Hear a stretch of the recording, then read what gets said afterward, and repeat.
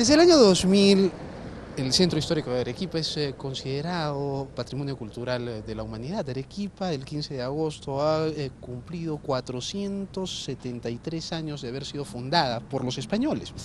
Ahora estoy con Enrique Casela, es uno de los promotores culturales de la ciudad, que hace un tiempo diseñó una vía cultural y hoy vamos a recorrer algunos eh, puntos de esta vía, unos puntos que no son eh, tan conocidos. Bueno, esta sí, esta es eh, una casona emblemática, la casona más emblemática tal vez de la arquitectura arequipeña. Su portada es especialmente preciosa y aquí abajo, frente a su fachada, podemos encontrar un sticker que dice Cultural Place Vive Arequipa. Esta es una señalización que permite identificar puntos eh, de esta vía cultural eh, de Arequipa. Quique, gracias por concederme eh, la entrevista.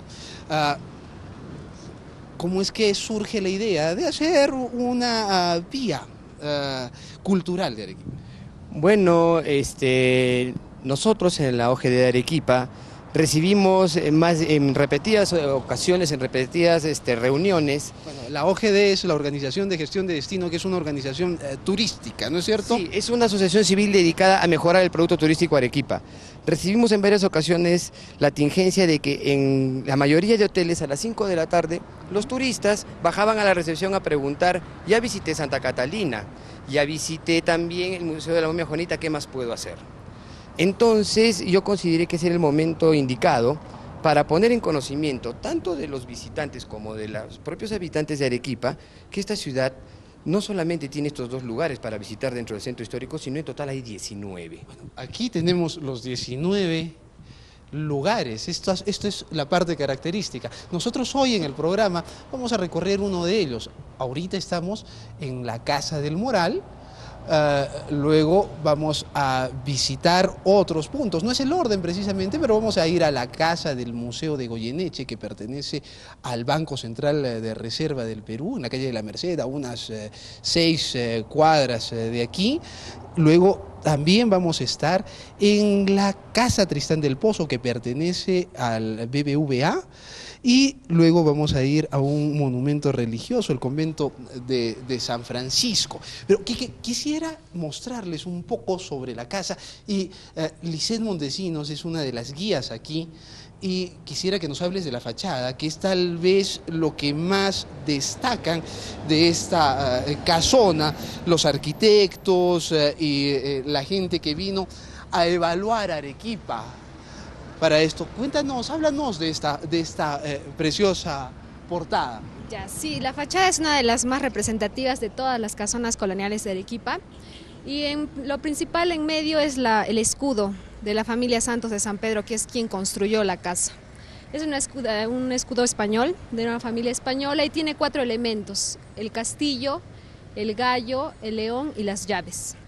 A los costados están dos ángeles que lo custodian, ellos están parados sobre dos pilares y alrededor vamos a ver elementos como espadas, lienzos, que son parte de la pictografía paracas, que en la época se acostumbraba mucho decorar con esos elementos. Esta es una portada mestiza con cosas españolas y con cosas eh, propias de los indígenas.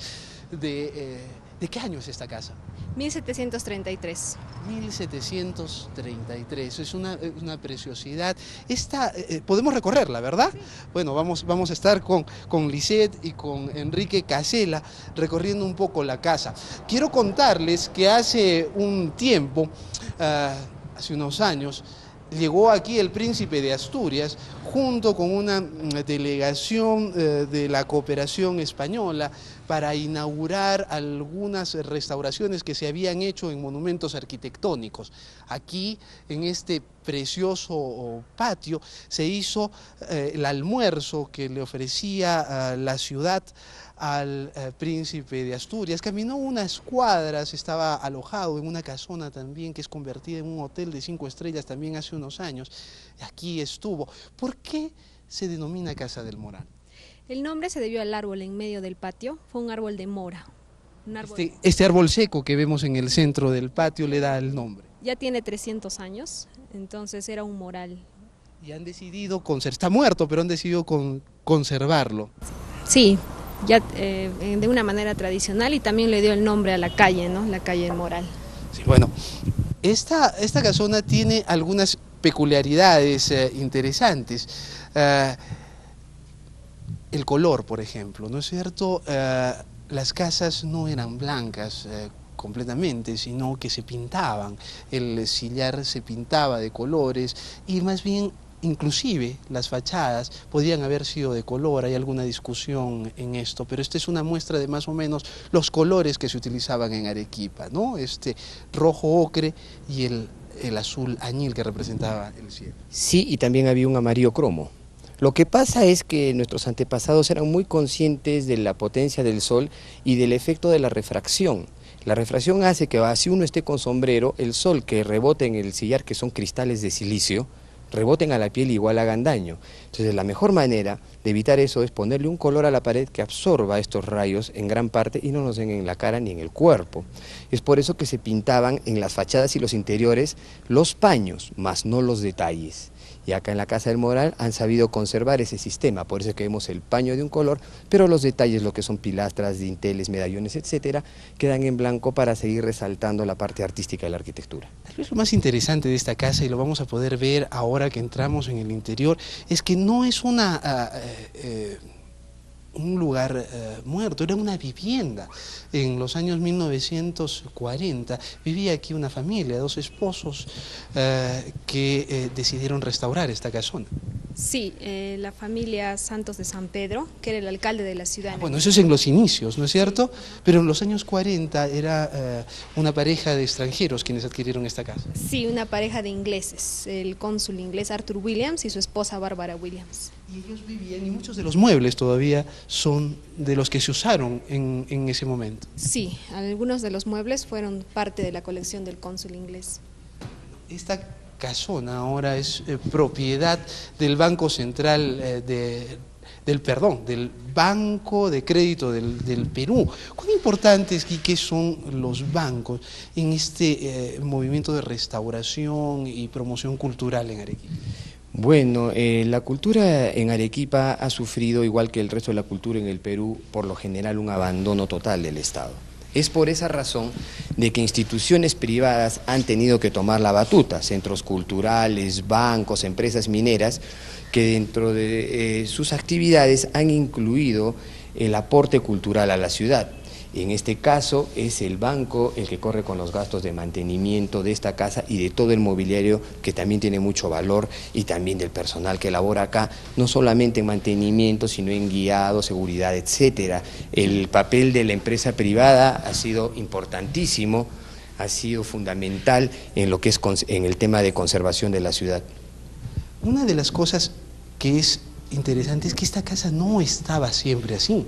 Aquí hay fotos de cómo estaba la casa, ¿verdad? Esta es más o menos una idea de en qué estado ruinoso llegó a estar esta casa y cómo se ha ido recuperando para eh, la ciudad y bueno, para la humanidad, porque esta es una joya, patrimonio cultural de la humanidad.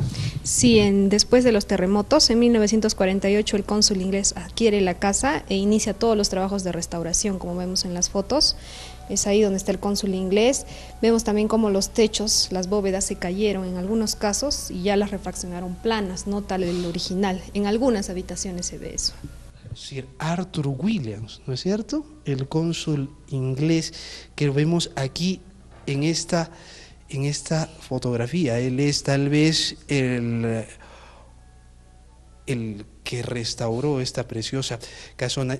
Yo quiero mostrar un poco lo que era, porque esta era una casa, así se, vivía. Entonces, aquí está parte de la casa, el comedor eh, y, esto. Ah, ¿En qué instante, en qué año dejaron de vivir en esta casa?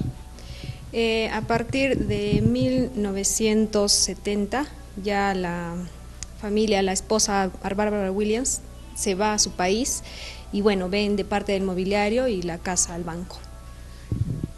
En ese momento es que eh, la casa empieza a tomar otro cariz. Aquí funcionó un banco, un banco del Estado primero.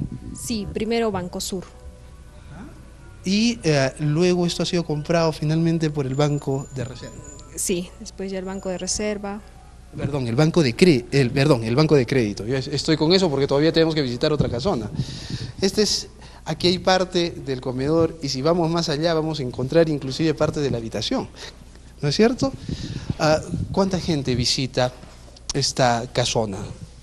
Eh, un promedio de 20 turistas al día. 20 turistas al día, 20 turistas extranjeros llegan aquí y no... Eh, además es muy utilizada para recepciones y algunos cócteles que dan las grandes empresas en Arequipa. Si seguimos hacia allá vamos a poder ver algunas cosas interesantes. No sé cuántos minutos tenemos todavía. Bueno, esta es parte de la casa que, vemos y ahora quisiera entrar a lo que era la parte eh, más acogedora de la casa, tal vez. Esta era la manera en que se vivía. Grandes habitaciones, techo abovedado, lámparas de ese tipo, y eso hace que estas casas sean especialmente importantes. Hemos estado en esta casona, hemos mostrado parte de una casa donde se vivía. Ahora nos vamos hacia un convento. Así es, nos vamos al convento de San Francisco a conocer los interiores.